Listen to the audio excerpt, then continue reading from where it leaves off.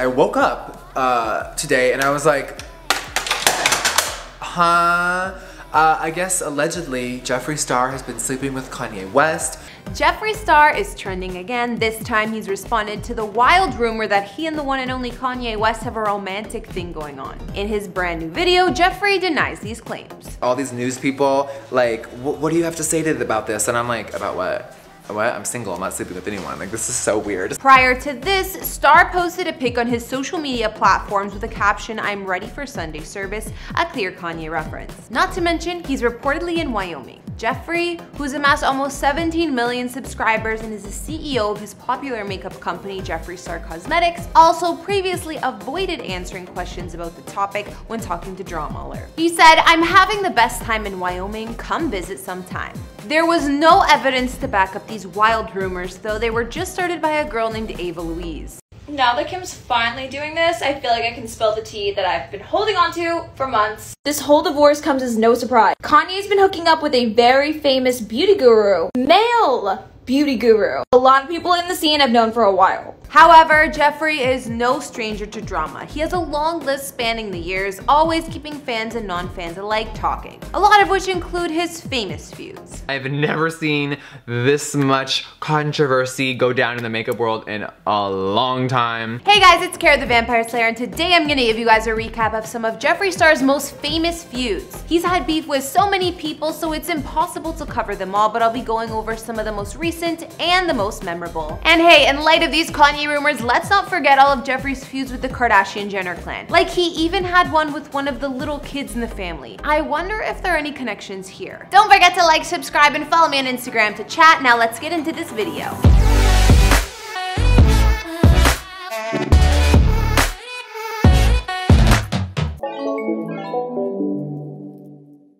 We need to stop somewhere later because guess what? what? I don't have any setting spray. Did you bring yours? It's still in Amsterdam.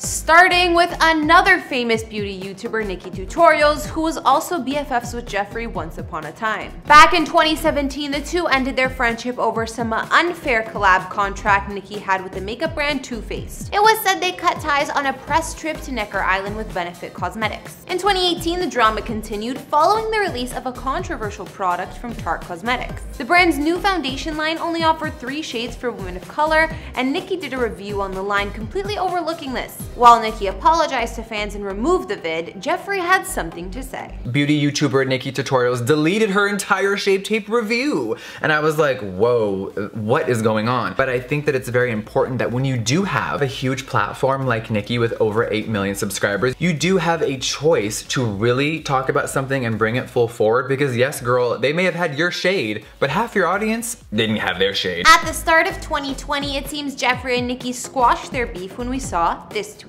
Now to the most recent mini feud that Jeffree has had with one of the Kardashian Jenners and one you may not expect, Mason Disick. This would also make him the youngest member of the fam for Star to clap back at, but let me explain. In spring 2020 screen recording show, Mason was live streaming himself on TikTok and said, Because Jeffree Star is like spoiled AF. In a since deleted tweet, Jeffree responded saying, I had $500 in my bank account six years ago. Maybe he's confused with his own privilege versus mine being self-made. Hopefully his father can educate him soon. I mean, I'm not siding with Star and dissing a 10-year-old, but the man does have a point. Anyways, that was that. They're dry, right? Huh? They're a little dry. They're a little dry? A little dry. You're allowed to be honest. They're it's a little a, dry. It's, it's, a review. It's okay. Just because someone's famous doesn't mean their products have to be great. Okay. Keeping the feuds in the family, who remembers Jeffree's drama with Kylie Jenner? It was a well-known fact that Star loved throwing shade at Kylie's brand Kylie Cosmetics, whether in his product review vids or on Twitter. Back in 2016, when Kylie released her lip glosses, there were angry customers over what looked like a faulty applicator, and of course, Jeffree had something to say. In his past tweets, we can see that Jeffree went off about Kylie Cosmetics, but it would take more to crack Kylie. At one point, he even reviewed her brush sets. This is, um, I call it vegan leather. It's like a plastic faux leather. It's obviously not real. And this does feel very cheap. So I'm gonna start the review off by saying this feels like it's from the Dollar Tree. Just being in 100%. As you can see, the Jeffree vs. Kylie beef was basically all about makeup.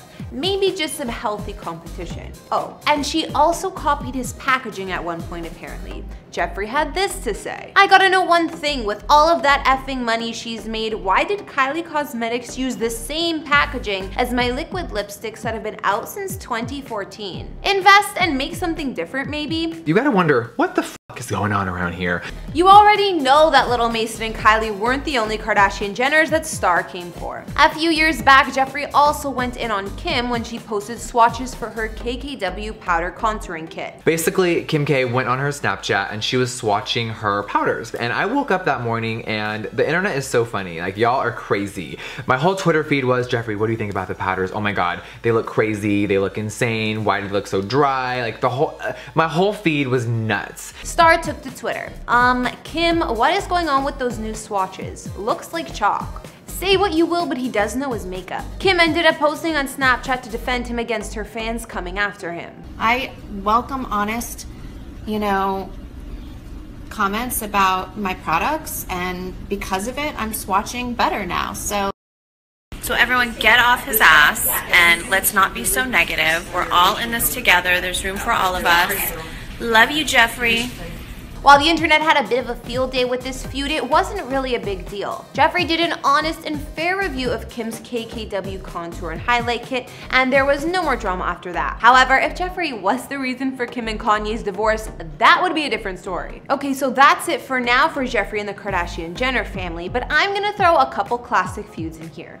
This is the Kat Von D, what was this called? This is so old. This is the Shady Bronzer. Hmm, fitting. One of the most notorious Jeffree feuds has got to be the one with Kat Von D, who were actually friends for a decade, and she even helped Star with his makeup line. The beef between these besties began in 2016 when Kat exposed Jeffree for not paying his graphic designer for the work he did for him. If you do not know the scenario, basically two summers ago, my brand was skyrocketing, Kat Von D was stagnant, and she decided to cross out my face and um, let the internet know a bunch of crazy lies. Kat then announced on Insta she was done with Star and released a video exposing him. honestly, Jeffree, if it wasn't for me, you wouldn't be where you are now. I mean, as far as your makeup line goes, and I think, I mean, maybe you would do it some other way, but you definitely wouldn't do it at the capacity that you have been. So it's a long story, but Kat had a ton of reasons why she didn't want to be Jeffree's friends anymore. He also posted a video explaining his side of the story. Is she for real? Like, this can't be what's happening.